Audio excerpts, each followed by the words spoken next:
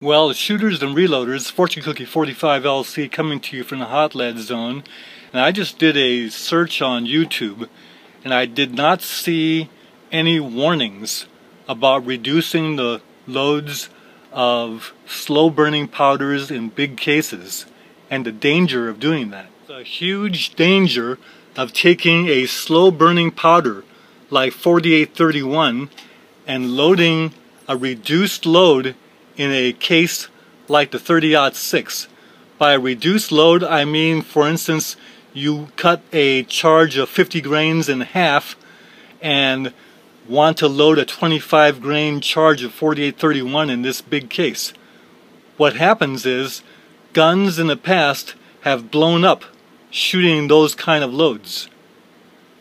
And this is against logical reason because you would think, well, you take a case of 4831 and you put in half the powder and it should be safe, right? Because you're not using as much powder, should be less pressure, less velocity, and this kind of thing. But in fact, the exact reverse is true. Guns have blown up in the past, and the labs tried to figure out exactly how it happened, and you cannot get it to happen on demand.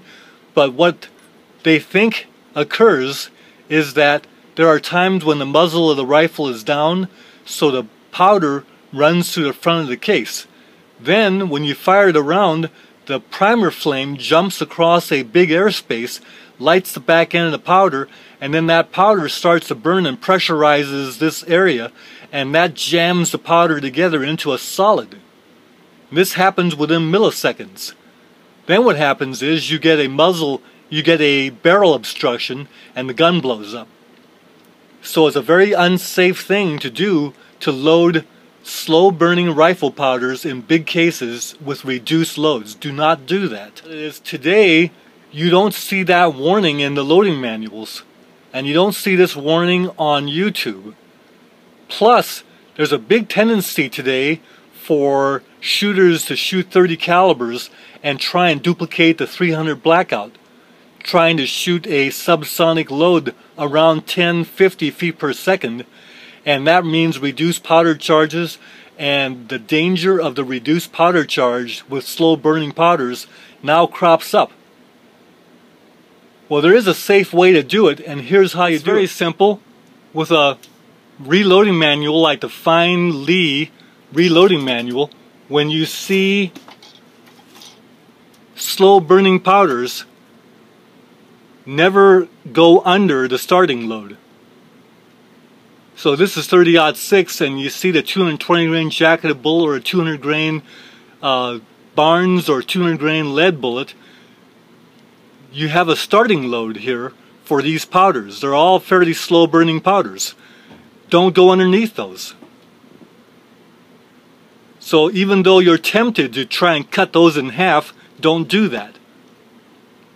Now in our fine Lyman reloading manual, you'll see a lot of loads for jacketed bullets, and you might want to use a jacketed bullet at subsonic velocities so that the temptation is going to be to take a heavy jacketed bullet and then find a load that you can cut in half and get down to around 1050 but that is not recommended.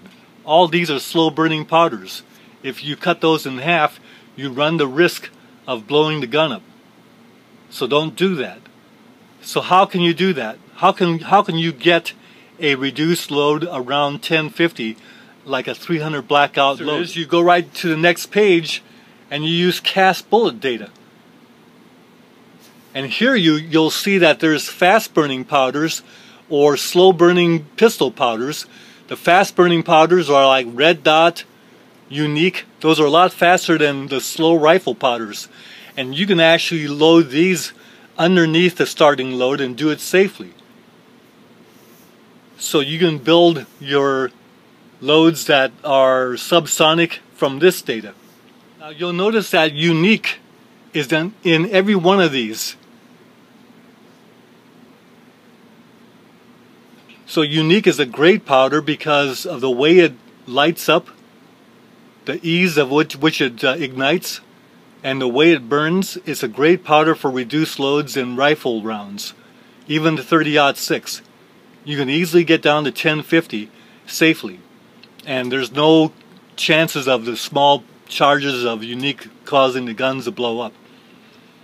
Or better yet, you could go right to the Lyman Cast Bullet Handbook and there find 30 6 loads, the heavier bullets, and you'll have loads using red dot, unique, green dot, Herco, all of our favorite handgun powders. And these are fast burning powders uh, and they will work very nicely with charges around 10 grains.